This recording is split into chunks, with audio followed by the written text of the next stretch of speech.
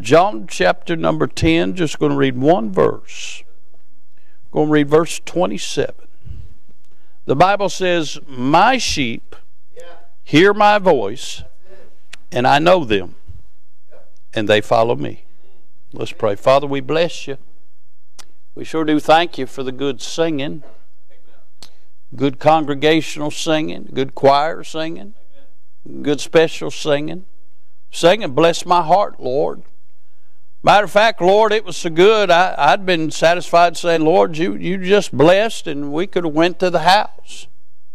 Lord, I know that singing is wonderful and it soothes the soul. But Lord, you chose through the foolishness of preaching to save them that would believe. Lord, it's preaching that stirs our soul. And so, Father, I pray you'd help us from the Word of God right now. You know every person in here. You know their down sitting, their uprising. You know what they stand in need of even this very hour. So I pray you'd speak to hearts. I pray for any that may be amongst us today who do not know the Lord Jesus as their Lord and Savior. Lord, they're strangers to the grace of God. Lord, I'm glad they're here. And Lord, I certainly pray they've been made to feel welcome. And I pray right now the sweet Holy Spirit of God will begin to open their eyes to the truths of the things of God. And I pray today would be the day of their salvation. I pray for those in attendance that know you and Lord, they might not just be living up to their name as a Christian. I pray today would change that. I pray for those that are here today that know you that may be struggling, that God, you'd encourage them. Somebody that might be hurting, that God, you just sit down beside them and help them. Lord, somebody that's seeking some answers, I pray that God, you would fulfill their desires by showing them the answers they need. Now, Father, I pray you'd use this unworthy vessel. I pray that you'd bless, and I pray you'd be highly magnified and glorified.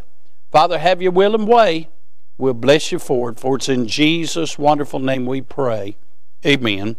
Amen. John chapter number 10, uh, for my assumption, might be one of the greatest teachings and lessons and chapters of the Lord Jesus in his entire ministry. He settles some things in John chapter 10, and he establishes some things that ought to settle and establish some things in us. And in verse number 27, I want you to notice some things. Notice, first of all, the possessive. He said, My sheep. He didn't say sheep, he said, My sheep. He didn't say those sheep. He didn't say the sheep. He didn't say uh, some sheep. He said, My sheep. He's talking about those that belong to Him. Now, I don't know much, but I know the Lord. And I'm glad I'm one of His sheep. I'm glad I belong to Him. You know, there's a lot of folks don't like that terminology. You belong to someone? Oh, yeah. He bought my soul. He paid for me. And I'm glad to be one of His today. Uh, I'm one of the Lord's. Uh, I'm not ashamed of that. Uh, I'm glad to stand up and be counted as one of His sheep. We see the possessive. Notice, if you will, the perceptive. He said, My sheep hear my voice. Mm, you say, Brother Doug, I, I know the Lord, but I don't know his voice. Well, you can't know him and not know his voice. Right. He said, My sheep, mm, they hear my voice. Right. You say, How do you know it's his voice? So if you know him, right. you know his voice. Huh? Now, I've never heard his audible voice, Brother Phil. I've never heard the Lord audibly speak my name, but He spoke my name. Night I got saved, uh, I was lost uh, on my way to hell, sitting in church like I had uh, uh every church service for 10 years. Uh, but that night, uh, it wasn't my granddaddy doing the preaching. I heard a voice from another world uh, uh, uh, who, inside of my heart, started to let me know that I needed the Lord. And oh, I know his voice. Uh, can I say, in the 48 years I've been saved, there's been a lot of times I've heard preaching, and then there's been times I've heard him. Can I say there's been times I've heard singing, and then there's times I've heard him. There's been times I've been just uh, uh, driving down the road, had my mind on something else, and I heard his voice. Uh, uh, uh, there's just something about his voice. Uh, he speaks with a still, small voice. Uh, he, even though his voice is as many thunderings and his voice is mighty waters, when he speaks to our heart, he speaks in that still, small voice. he said, My sheep hear my voice. We see the possessive, we see the perceptive. Those that know him know his voice. Notice, if you will, the proportion. He says, and I know them. It's one thing for folks to know about Jesus, it's another thing to know Jesus. But he said, not only do my sheep hear my voice, he said, I know them. That proportion means there's a relationship here. Hmm? Now, listen, my wife and I have been married 33 years. Hmm? I'd like to say for her, they've all been blissful. But you all know me.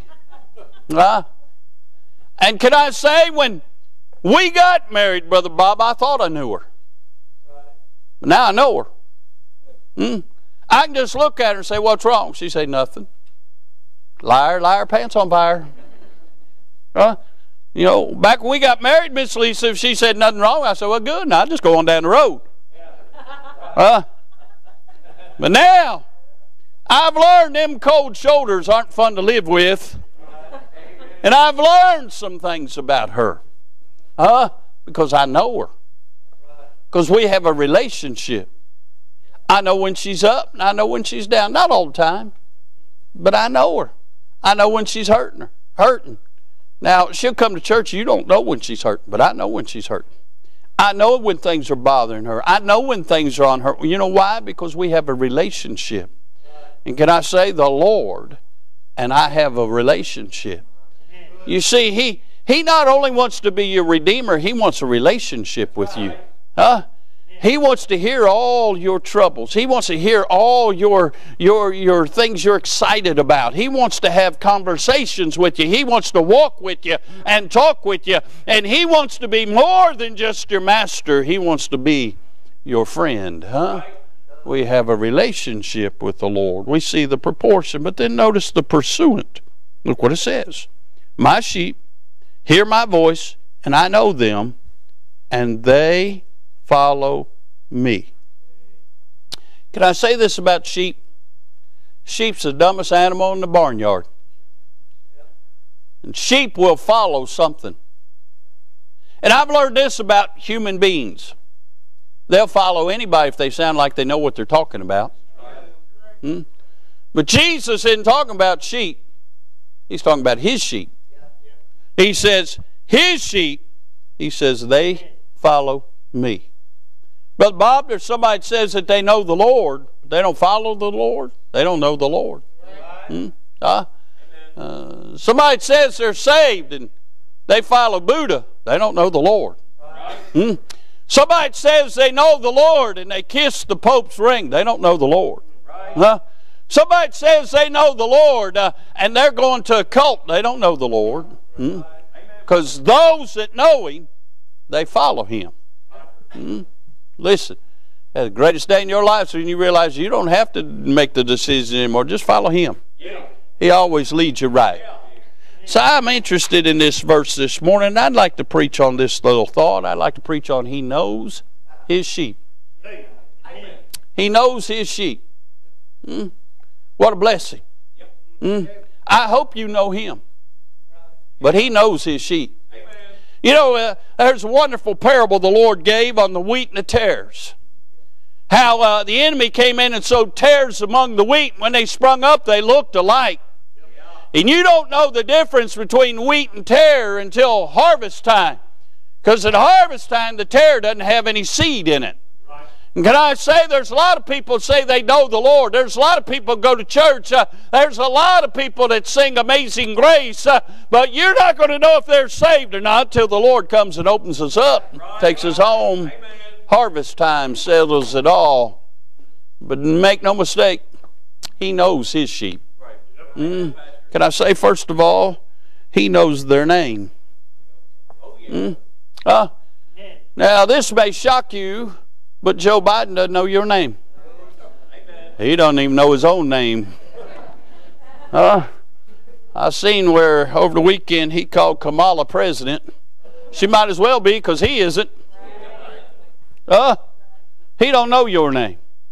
Uh, Andy Beshear don't know your name. I think he found out mine a couple years ago. I wish he hadn't. But uh, hey, listen, he don't know your name. Uh, mm, there's a lot of important people in man's eyes. They don't know your name. But the most important person that's ever walked on the face of the earth, the Lord Jesus, if you're his sheep, he knows your name. He knows your name. Huh? Because you have a relationship with him. Uh, hey, listen, uh, uh, there are folks that I have met and had acquaintances with, uh, but I don't always remember their names. Uh, Miss Net, I was somewhere the other day, and somebody come up was talking to us. I said, "Who's that?" She told me. I said, "Oh, see, I don't have a relationship with them." They're just acquaintances. I didn't know their name. Hmm? Could I say? The Lord Jesus knows your name if you belong to Him. Listen, He knows everybody's name, but He really knows your name if you know Him. Are you listening? Can I say this? Uh, he knows your name personally. Hmm? Personally. He knows you personally. He knows which Ed we're talking about when we mention Ed. Got three of them right here. Got a triangle of Eds. Huh? Ed, Ed, and Eddie. Huh? He knows which one we're talking about. Because he knows them personally. Hmm? Listen, uh, it's one thing that he knows everybody, because he knows. He knows every person that's ever been born. But when you know him, he knows you personally. Hmm? You let that sink in. Huh? The Lord Jesus, if you're born again, knows you personally. Hmm? Knows everything about you. Hmm? Well, what a Savior. Hmm? He knows you personally. I'm glad I know him personally. Huh? I, I don't have to talk about Jesus. I can talk to Jesus. Because huh? I know him personally. Hey, if I was to call the White House, if there's such a number you can call, they would they wouldn't take my call. But listen, all I got to do is get on my knees, and he's sitting there listening to me. Huh? I don't even have to get on my knees. I can be thinking in my mind about him, and he's listening to me. Uh, uh, listen, he knows me personally. Uh, there's no waiting line to talk to Jesus. Huh? Can I say this? Uh, he not only knows my name personally, but he knows my name personified. You say, what does that mean? That means he knows my past, my present, and my future. Hmm? Now, listen, Brother Ray. There's a lot of us, if we knew our past, we wouldn't want to hang around each other. But He knows our past and still wants to hang around us. Hmm? He knows where you were before you became one of His sheep. He knows how vile and wretched we all were. Mm, but He still wanted to know us personally. Hmm? He knows our past, He knows our present. He knows uh, uh, uh, where you've overcome and where you fell short but he still wants to know you personally. Hmm? That's, that's a gracious Savior. Huh? Hey, I know Baptists, if they think you fell short a little bit this week, they won't even shake your hand. Huh? But Jesus, he'll, he'll not only talk to you, he'll put his arms around you. He'll let you know he cares. Uh, he said, Cast all your cares on him, for he cared for you. Even when you fall short, we do every day, he still shows us grace uh, and mercy uh, and love uh, and compassion. Uh, he knew my past, he knows my present. Uh, and because of what I was and because of what I am, that doesn't concern him as much as he knows my future. He knows what I'm going to be. he knows I'm going to be like him one of these days. Hey, what a blessing. He's already seen me uh, in eternity uh, future. Uh, and what a blessing to know that He cares that much about us. Mm, they used to sing that song, He's Still Working on Me. And that's what He's a doing. He's just getting us ready for what we will be. Huh? He knows our name personified. He knows us personally, He knows us personified, and He knows us passionately. He has a deep affection for you. Can I say this? No one ever died for you in your sin. Hmm? Huh? There might have been people that died for our nation. There might have been people that, that took a bullet for somebody else. But Jesus deliberately died for you because he loves you so much he didn't want you to die and go to hell. Amen. He loves you passionately. Brother Bob, He loves you when you're up and He loves you when you're down. He loves you passionately. Listen, you can't say no one ever ever cared for you because yes, Jesus cares for you. He cares for you so much.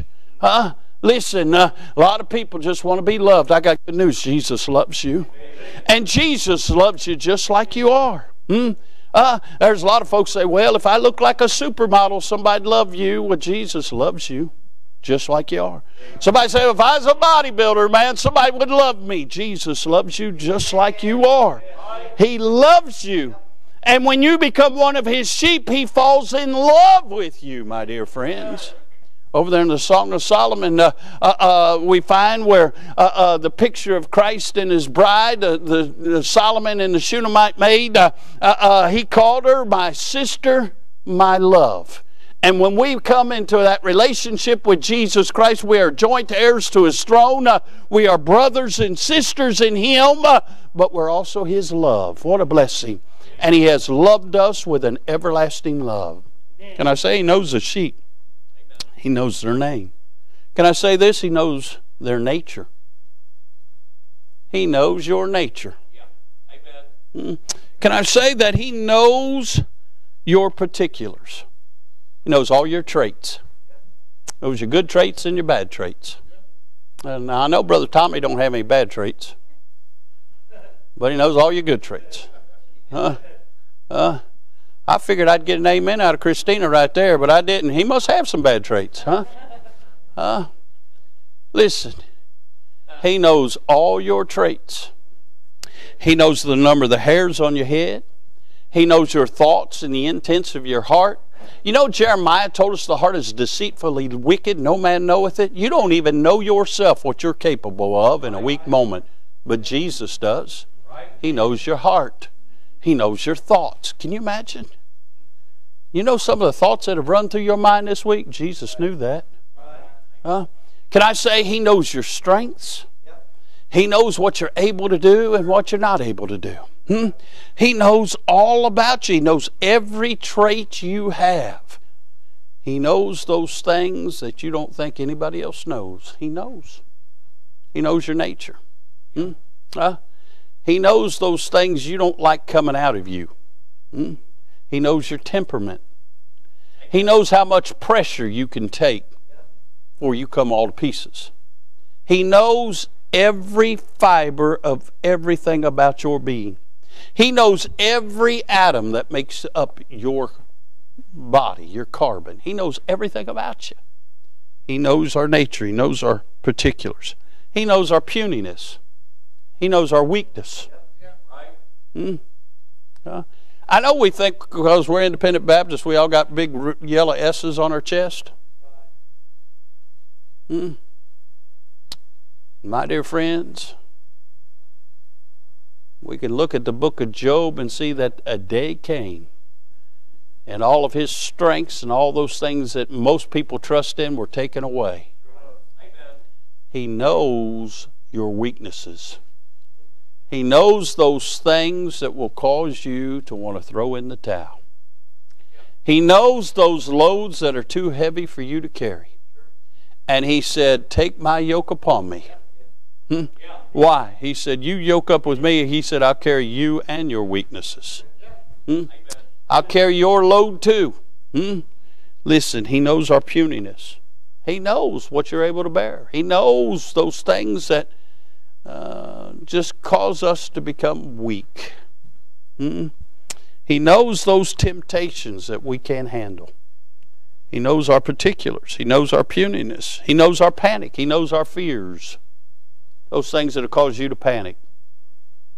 You say, I'm not afraid of anything. Liar, liar, pants on fire. Mm. There are things people fear. Mm. Thad and Tammy are in Florida. When they get back, I'm going to church them. Sent me a picture. I opened it up. It's a stinking snake. He say, Brother Doug, I can't believe you're afraid of snakes. I'm not afraid of snakes. I'm a Bible believer. Genesis 3:15, God told the serpent he'd put enmity between his seed and the woman's seed. There's a lot of enmity between me and snakes. I hate them.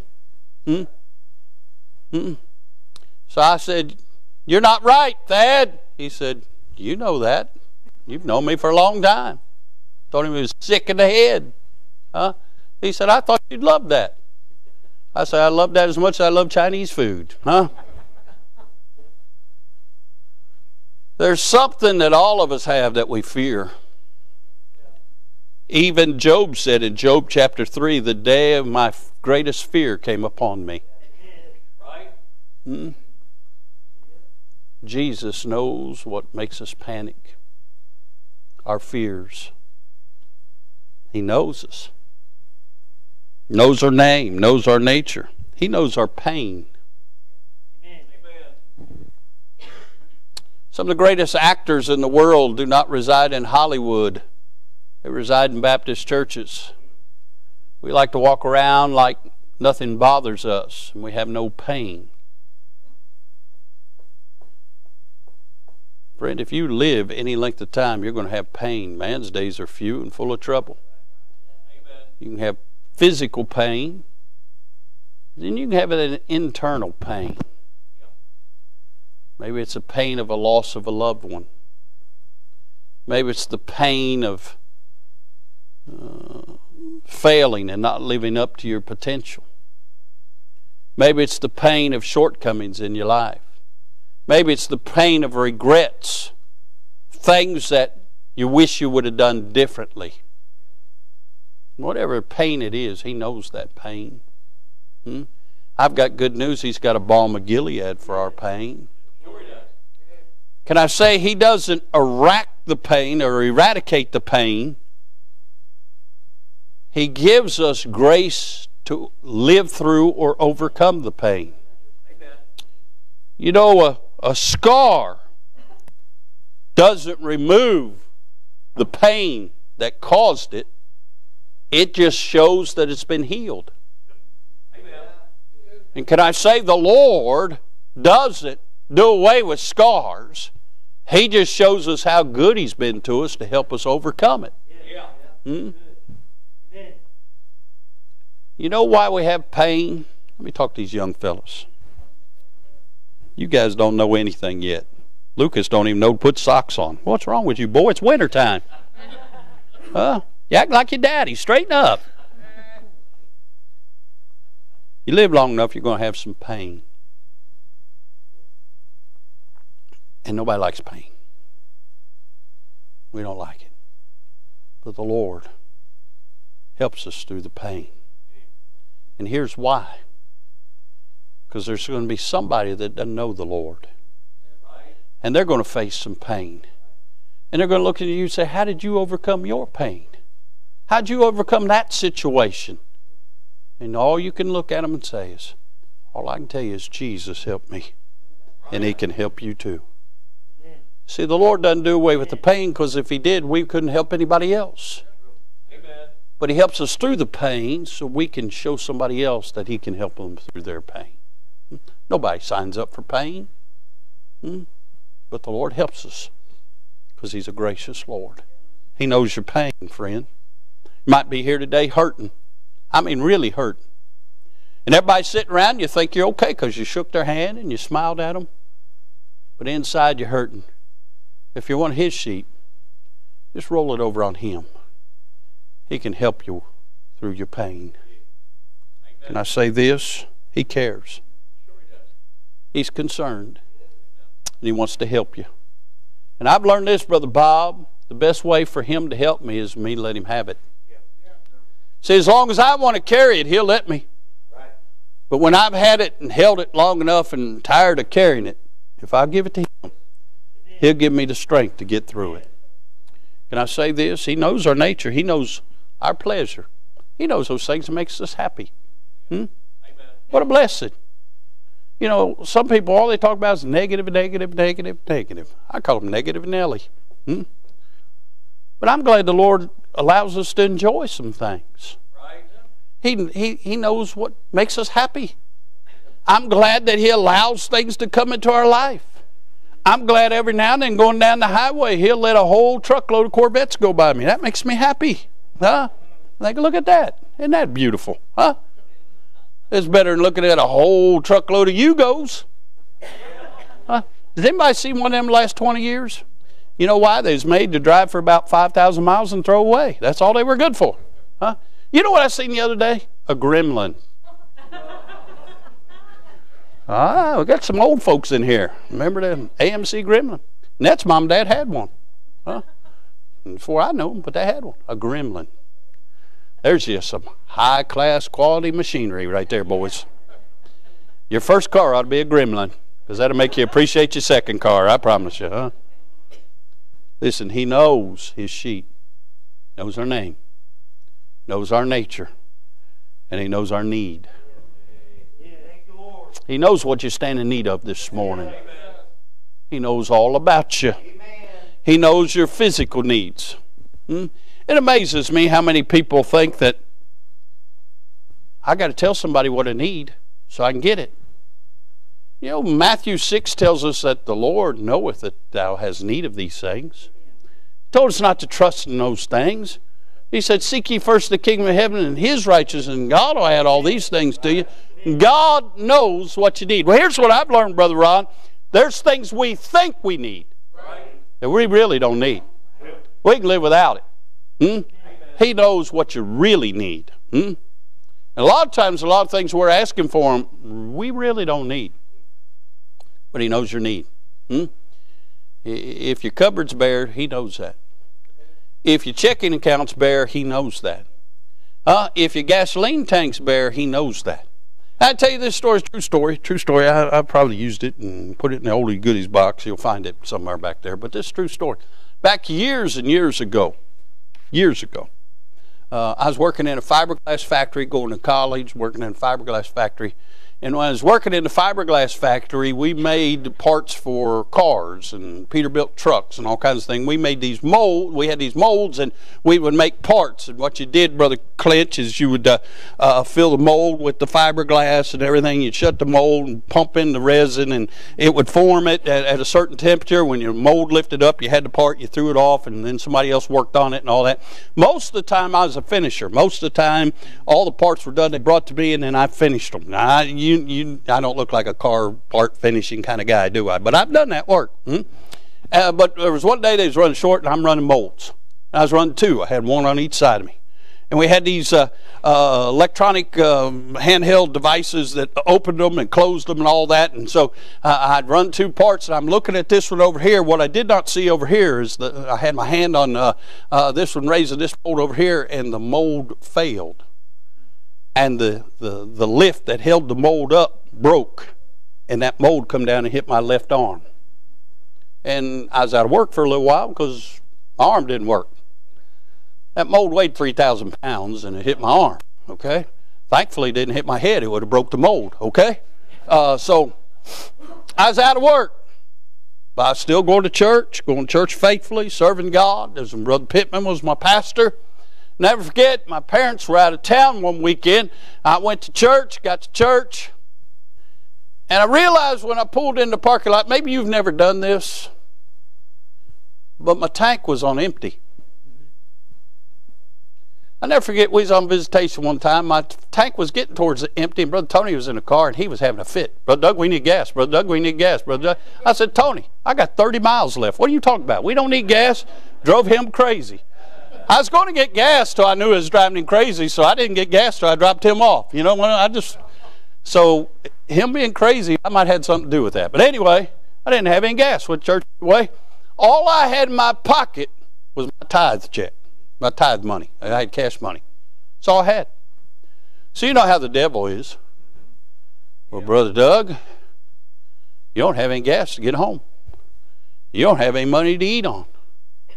Once you got you got that tithe, once you just use that to get gas and eat on, you can give your tithe next week.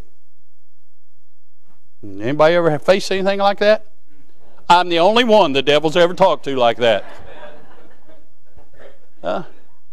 Well, the offering plate come around. I just took my tithe out and threw her in the offering plate because that's what I was supposed to do. You say, well, how's you going to eat? How's you going to get home? I don't know. All I know because it's right to pay your tithes. and I wanted to pay my tithe. Well, after service, we had a, a deacon, Brother Bill Ivy.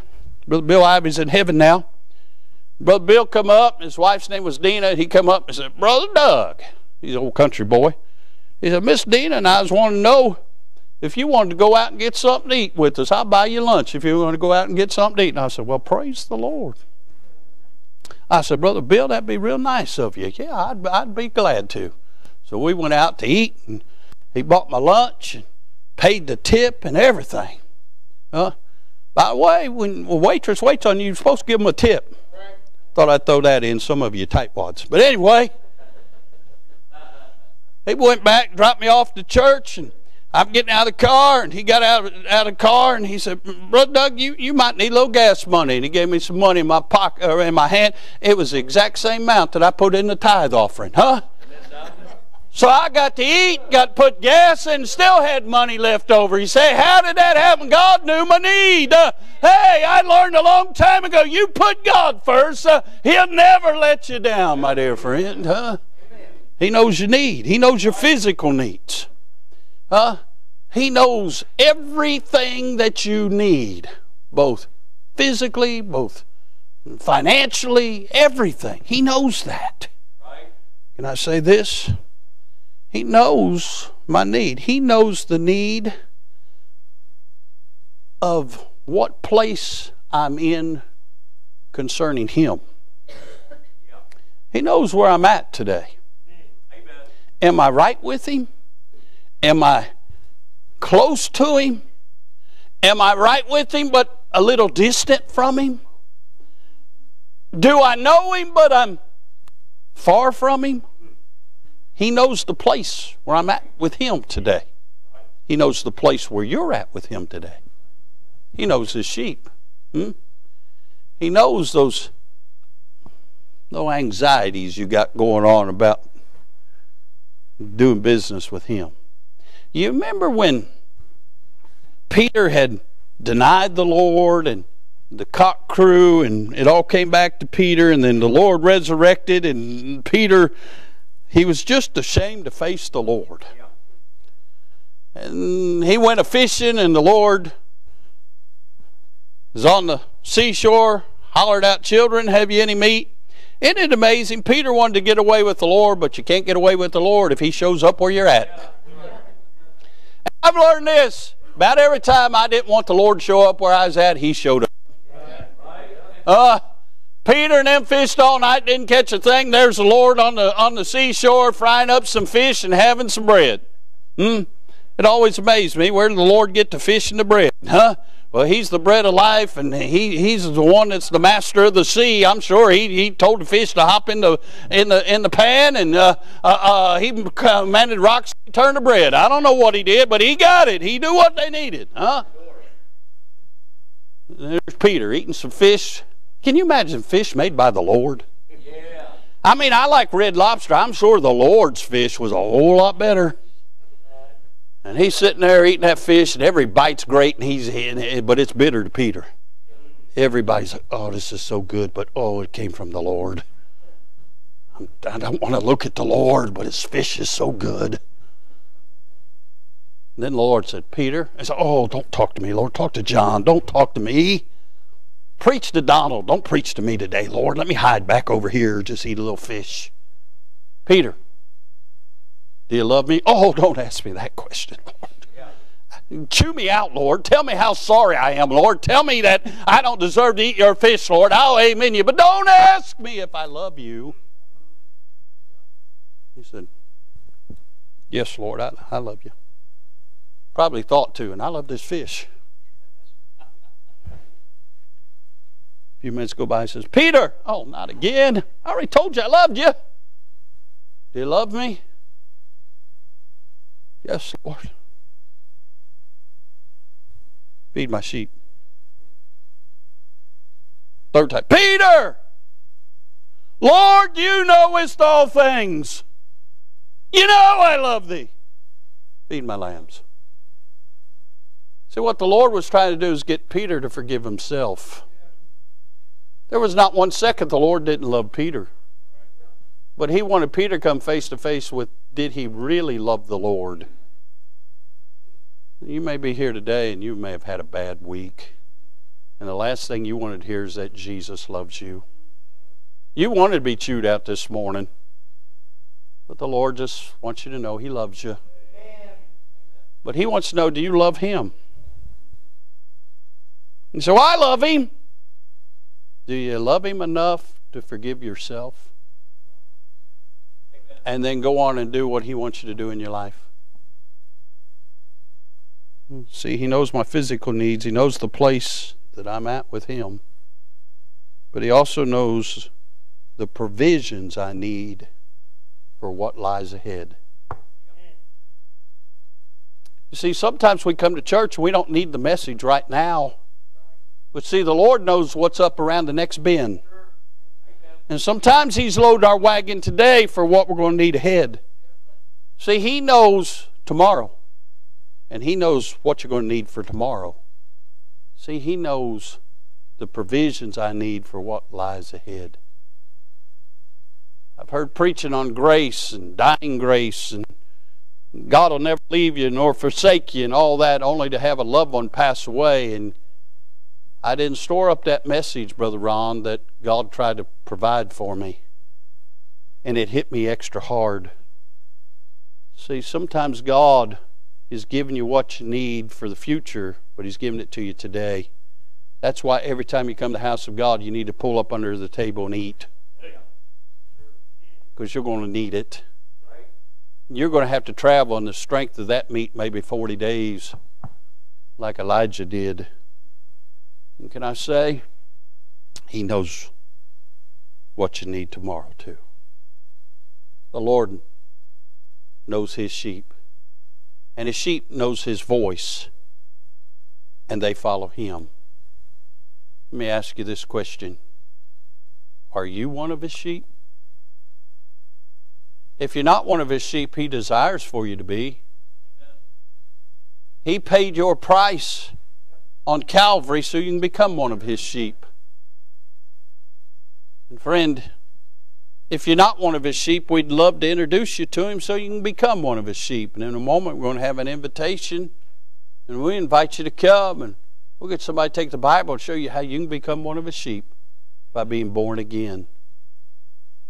A lot of people, Brother James, say, I hope I'm one of his sheep. I sure think I'm one of his sheep. Well, you can know that you're one of his sheep. And the Bible spells it out so clear. You must be born again. If you're here today and you're one of his sheep, are you living up to that? I don't want to be a goat. A goat butts, a sheep follows. But I want to be one of his sheep. Uh, I've seen commercial where Serta sleepers got their sheep. I want people to see commercials out of my life saying that's one of the Lord's sheep right there. I can tell by his life.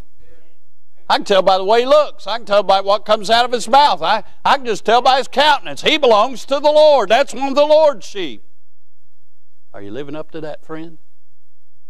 Or when people look at you and say, Well, I just don't know about them, you ought to leave no doubt I'm one of his sheep. I hear his voice. Do you hear his voice? Do you know his voice? I follow him. You know how folks know if you're one of his sheep? You're right behind him. Hmm. Are you one of his sheep? If you are, how good a sheep are you? The folks know you belong to the Lord. He knows his sheep. Do you know him? Do you know the will of God for your life? You ought to, if you're one of his sheep. Let's all stand this morning. Brother Clint, come get a song of invitation. I'm glad I know him. I don't deserve to get to know him, but I'm glad I know him. If you're here today and you don't know him, you can know him. And if you do know him, you ought to be right behind him. And everybody ought to know you're one of the Lord's sheep. Folks are coming, folks are praying. Friend, if you don't know him, why don't you come? We'll get somebody to take a Bible and introduce you to him. So they're picking out a song. Let's have a word of prayer. Father, we sure do bless you. Glad I'm one of your sheep. Lord, I pray for anybody in the building today that doesn't know you. Today'd be the day they become one of your sheep. I pray for those that are your sheep. They they'd be right so close to you, everybody know that they belong to you. Maybe there's a sheep that's a little far off. I'm reminded of that that uh, Luke 15, the 90 and 9, and the one that was away from the fold. Lord, I pray if somebody's got their eyes on a far country, they'd get back to the fold. God, just speak to hearts now, blessing this invitation. We'll thank you for it. For it, save that one nearest hell. In Jesus' name, we pray. Amen. Did you know that you could receive a daily devotion every morning in your inbox? Head on over to ibcflorence.com and click on Daily Devotions to sign up today. And as always, thanks for listening.